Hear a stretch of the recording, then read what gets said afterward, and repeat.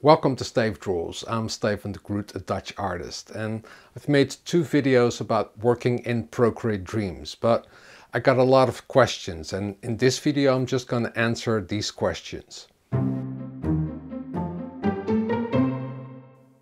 The last video I said that you cannot import brushes into Procreate, but you can. Here's how it works. What you need to do is to make a split view also open Procreate and then you can drag any brush you want or any brush set you want. And I'm just going to drag this brush set, the Stayf Impress brush set into Procreate Dreams. And when you now look at the brushes, you have to scroll down and here you find all of your custom brushes you bought or custom brushes you made yourself. Camel Cutley asked why you used a secondary back layer of house and masked the second same layer. I didn't understand, sir. What is the problem with one back layer of house of hippo? Well, if you look closely on the animation, in the beginning you see that Horus Hippo runs from behind the door. And I just had one background. I just painted that background in Procreate. So what you could do is, you know, cut out this, this section. But another way to do it is to use a mask. So I duplicated the layer because this is the, the background layer. And I duplicated it on top of the animation of Horus Hippo. So here's the animation of Horus Hippo. And then I created a new drawing on top of it or a, a new track and I set that to mask and you can do that by you know pressing on the track and then choose mask and then everything behind it will be masked. So I've just masked this part of the door. And maybe can show you even better. It's this part that I masked out. So here's the total background and this is the masked out part. So I can just drag anything behind it. So when you see it in total, Horus Hippo runs from behind the door.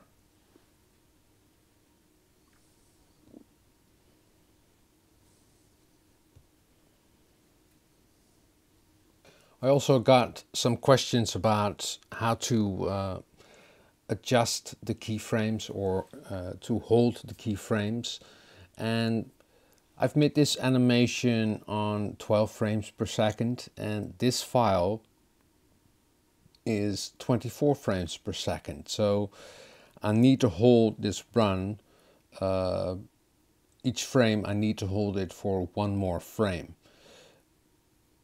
What you can do is, you know, the end animation, just drag it and make it longer, but how to do it with the rest of the uh, frames because now you cannot use this and make it longer. What you can do is try to drag it and hold a finger and then you can make or hold a drawing a little bit longer. So first drag it, then press a finger and in this way you can make or hold your frame for one more second or as many seconds as you want. So first drag and then press your finger. I also got some questions about how to do lip syncing in Procreate Dreams. What I did is create a, a, group, and groups are your friends in Procreate Dreams. In the group, I imported an audio file This is how you can do lip sync in Procreate And- Dreams. Underneath it there's a group of the head and in the group is the mouth and I'm just going to frame number one. That's on a separate track the head and the neck and the rest of the body. So what I did is create a keyframe first and then in the layers panel, I created different mouth shapes. What you can do is when you edit the mouth shapes, first have the entire track filled with the first mouth shape, and then when you press on edit, you can split the keyframe. So now you can set the keyframe to another mouth shape. So I'm just gonna choose this mouth shape and turn the other one off. And this is how I animated or did the lip sync in Procreate Dreams. This is how you can do lip sync in Procreate Dreams. Shawshore asked, can you change the frame duration in Flipbook? Yes, you can change the frame duration. Uh, what you can do in Flipbook is just press on the thumbnail and then you can duplicate the frame. So it will give you a new frame in between. And there are other options like cut, copy, duplicate and paste. So if you have a frame up here, you want to copy and then place it at the end of the animation cycle.